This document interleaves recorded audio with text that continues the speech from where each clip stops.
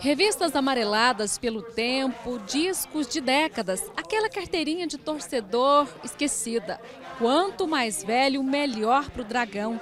Tudo isso pode se tornar parte do Museu do Atlético. O projeto foi lançado nesta terça-feira em comemoração aos 82 anos do time. Ele vai funcionar num complexo junto com um café choperia no estádio Antônio Ascioli, com o nome de Respeite as Cores.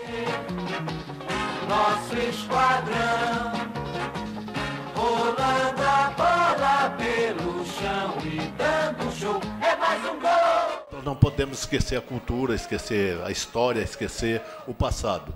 Eu mesmo tenho alguns souvenirs do Atlético em casa, que de vez em quando eu passando, vejo ele no fundo da mala sem nenhuma é, praticidade. Então é importante que a gente deixe esses nossos objetos com o Museu do Atlético. E todo grande clube do mundo tem um museu. O Atlético também é um grande clube mundial. Uma sala vai ser liberada no estádio Antônio Ascioli. E assim, uma hora antes de cada jogo, o torcedor vai poder levar objetos, lembrancinhas que vão ajudar a compor o acervo do Museu do Dragão. Segundo a diretoria, cada semana terá o lançamento de uma ação nova em comemoração ao aniversário do Dragão. Em meio à festa, o Atlético tem alguns desafios pela frente. Um deles, o confronto contra o Santos na próxima quinta-feira, às 7h15 da noite. É um jogo muito importante que nós estamos esperando há muito tempo.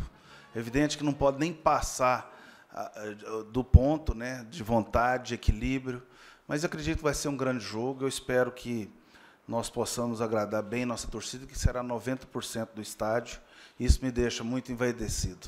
Enquanto o Dragão lá fora solta fogo, a diretoria festeja o aniversário do time, com direito a parabéns.